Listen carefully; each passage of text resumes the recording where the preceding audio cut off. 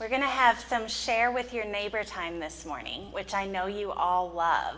So, with your neighbor, I want to know have you ever had a quarrel with God? Some sort of disagreement, something has happened, and you're not happy about it, and you're not happy with the situation you find yourself in, and you bring some sort of quarrel to God. If you have, if you're in the midst of one, share that with your neighbor. I'll give you one minute because it's a thinker. About halfway through our share time, remember that it doesn't have to be something that makes a lot of sense, but the Israelites had pretty good reasons to quarrel with God. They didn't have anything to eat or drink, so they're legit, right? So, what has happened in your life that you've brought to God with a quarrel? Take about 20 more seconds. Was there something that everyone could think of that had been some sort of disagreement, some sort of argument you've had with God, something that has happened where you've been upset? Did everyone have something? Or you maybe you knew you'd been upset, but you couldn't remember the situation? Yeah, yeah, there's a couple like that. Okay, okay. So this morning we read this text from Exodus and this is a commentary about human nature and divine character. We learn a lot about people and about God in this text from Exodus. Uh, remember, this is right almost immediately after the people have been saved from slavery. They're in the desert. Uh, God said that God was going to save them, and so they trusted God, and uh, here we are. It would have been better to stay a slave in Egypt than to be out here in the desert with no food, no water, no shelter. Why did you do this to us? The people are pretty ticked off. Like, it may be an understatement. They're ready to stone Moses. Moses is worried for his life, right? And so, right at the core of this story is a, is a story about Israel's history. The purpose of the story, but is not to learn about the past is told so that we can learn about the grace and glory of God. But because the purpose of the story seems to be to understand the character of God, the story names an aspect of what it means that humans are fallen and broken creatures and what it means to have a gracious Lord. We start with a brief historical frame. Let's set the stage, right? From the wilderness of sin, the whole congregation of the Israelites journeyed by stages as the Lord commanded. What has happened in the wilderness of sin so far? There's been nothing to eat, there's been nothing to drink, there has been no shelter.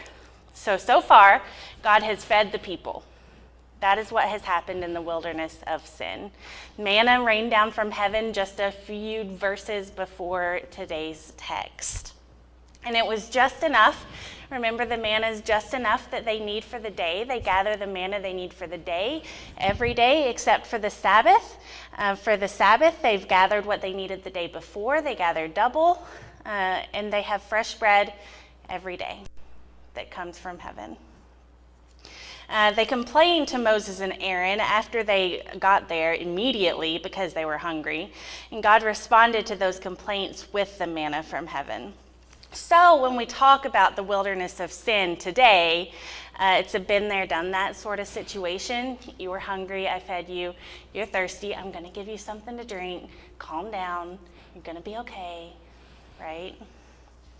But is it easy to be okay when you're dying of starvation or thirst? Not really. Not really. We hear about this encampment, Rephidim, and it's an unknown location to us. It just hasn't, this is a place that we camped before, right? But the Hebrew name carries meaning. The Hebrew, Hebrew verb Rephidim means to refresh or to support. So we know what's coming in this space. The story of a simple campout tells the reader the power of the Lord to refresh the Israelites. And the people here at this camp out, as they had at Sin before, quarrel, quarrel with Moses. But this time it's with Moses, and Moses takes this quarrel to be something against God. Why do you test God? Give us water to drink, they say. The people don't complain directly against the Lord, they complain against Moses. Why did you bring us out here? Why did you bring us out here? Not God. We can't see God. Why did you bring us out here for us to die? The human body can survive a really long time without food. If you have something to drink but no food, you can go two to three months on no food and just water. But if you don't have any water, if you don't have any liquid coming into your body, the human body can last about three days. Did you know that? Three days without water. That's how long you can go. So the people have a legitimate concern. Their complaint is valid. The Hebrew here is also important. The Hebrew word rib, the word that is used for coral in the text, means lawsuit in the Hebrew. So it's more than just a complaint. It's more than a simple argument. It's more like bringing Moses and God up on charges, demanding to be released from the pain of thirst. Why did you bring us here to the wilderness to kill us with thirst? That is the lawsuit they bring against God. They are testing Yahweh, where before Yahweh, it seems, has been testing the people. It's their lack of faith in the way they turn on Moses. Moses, who, mind you, has just saved them from slavery. Moses, who has just delivered them from Egypt. Moses, who has been the means of grace for the people. This Moses is who they're coming to and who they're turning on. This lack of faith, some commentators call it hard heartedness or stiff neckedness or ingratitude, even name fear. This is the aspect of the human condition that we talk about today. And Moses responds to the complaint of the people with a complaint of his own, one directed at God. What should I do with these people? Uh, they're almost ready to stone me. I'm a little concerned. This is my job. And mind you, I was happy with the sheep. I was a shepherd. I was leading the sheep. I was happy doing that. And now all of a sudden I have these people. You know who doesn't stone you? Sheep.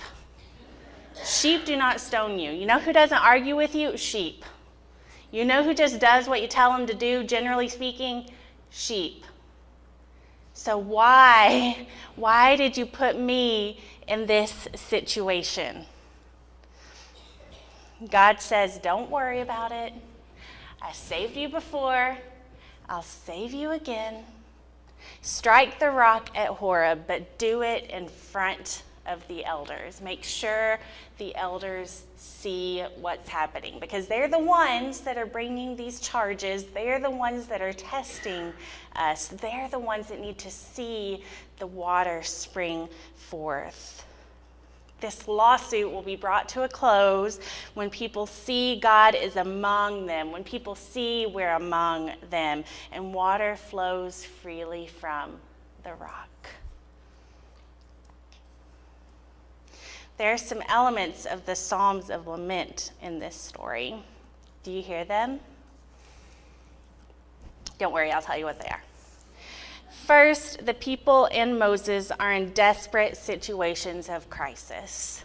We start lament not from a happy place, not from something that is exciting that has just happened, but from situations of crisis and hopelessness. Both the psalmist and the people in the story face life and death situations. The people think they may die of hunger. Moses thinks he may die at the hands of his people. Uh, there's also the traditional you complaint of the Psalms, uh, a complaint to God. Moses complains to God, and we're told in verse 7 that the people said, Is the Lord among us or not? We are in a crisis situation.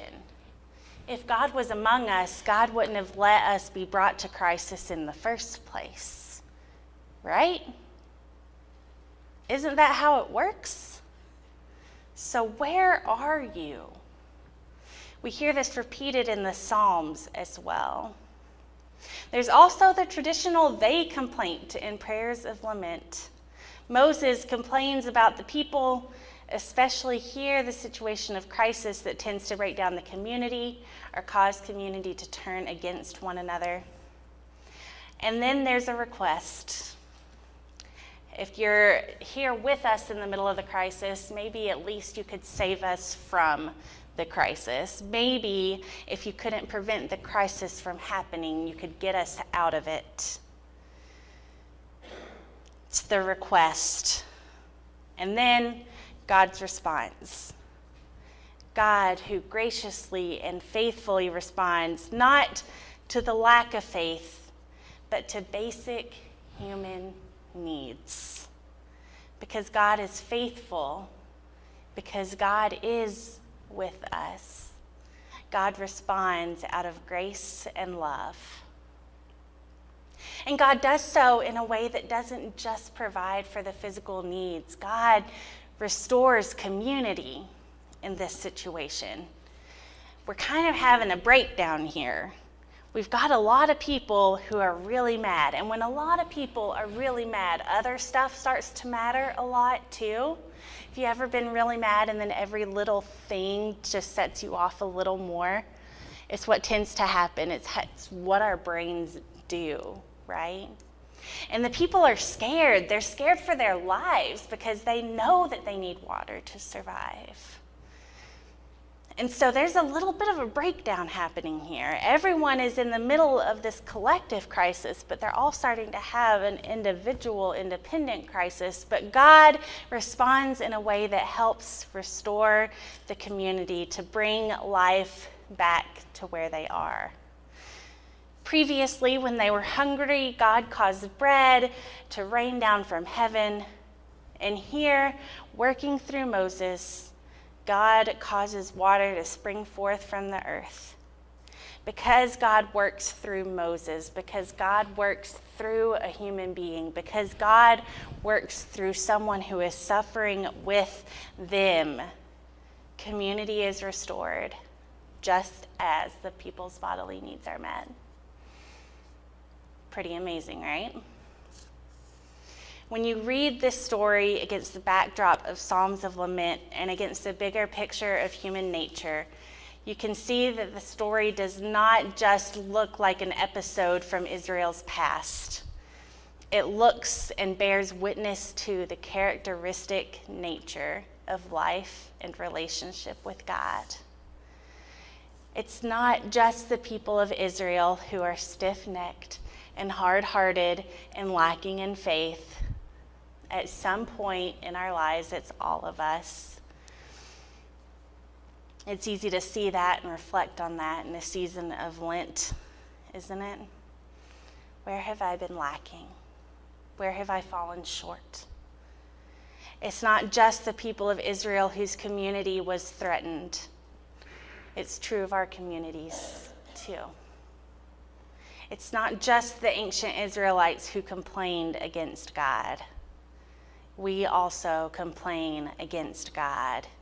And sometimes we don't have very good reasons for it, but most of the time we have really good reasons for it. We hunger, we thirst. The Psalms of Lament, my friends, give us permission to take these complaining prayers to God it almost tells us that it is authorizing complaining prayers as a part of our faith. Complaining and being in that relationship with God as well is part of what makes us human, is part of what makes God divine, is part of what helps us be in relationship together. Psalm 51, along with the Psalms of Lament, says, Open our lips that our mouths may complain to God. If God doesn't know the problem, how's God going to help us find a solution? And if we don't start with complaining, how do we know what the problem really is? Sometimes it takes some talking to figure it out. But above all, above all, this story bears witness to the faithfulness and graciousness of God. The whole book of Exodus, the whole chapter, everything that we read about, the entirety of the, the Israelite people in the wilderness is about the faithfulness of God. This is the message of Exodus that God heard the people's groaning in Egypt. God heard their complaining there and remembered the covenant God had made with Abraham, with Isaac, and with Jacob. The Lord, a God merciful and gracious, slow to anger, and abounding in steadfast love and faithfulness, remembered the covenant promise that was made that God's people, not the Egyptians, God's people would be numerous as the sands on the earth. And it's on God to make that happen. We talked about covenants a couple of months ago, about those conditional promises, about how they're more than just a little, uh, I'll scratch your back if you scratch mine. They are about these mutual relationships with one another. And it often happens in Scripture where God remembers the covenant. This is where we see change happen when God remembers the covenant, when the people remember the covenant, when a quick shift is made, and it's a tiny shift sometimes. Water from the ground that could have come from anywhere but it came through God with a relationship with Moses. We may quarrel with God. We may feel like we want to bring God up on charges, but it's God that resolves these quarrels. We may try to flee, we may try to push back on God's plans. Sometimes there's nowhere else to go. We're in the desert but it's always God who helps us in the end, who helps us to see where we are, who helps us to see all of our relationships in spite of what may be our unbelief. Thanks be to God. Amen.